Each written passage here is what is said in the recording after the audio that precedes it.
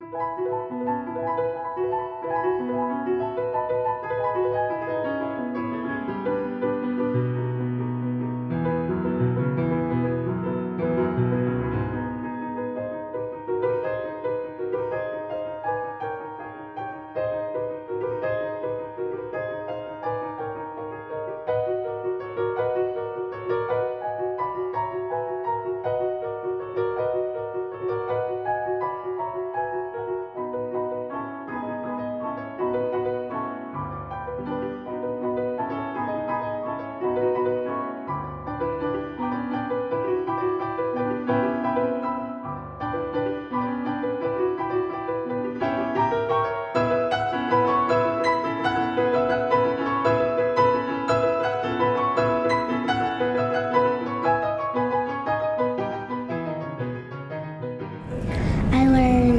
they wore really fancy clothes to the fair, Very good. and they weren't very sparkly, but And what? they weren't very sparkly. They weren't very sparkly.